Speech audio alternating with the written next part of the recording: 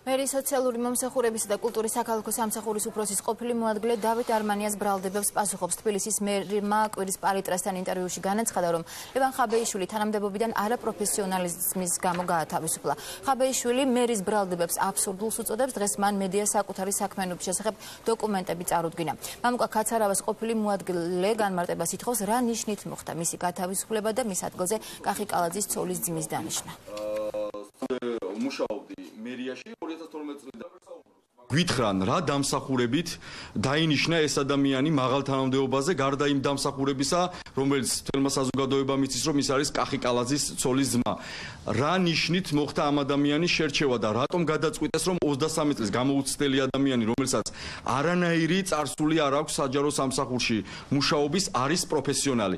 გარდა ამისა აქვე მინდა დავძინო და ბატონ მერს უთხრა რომ იმას თუ მე კანონიერად გამანთავისუფლეს თუ არა გაარკვევს უკვე სასამართლო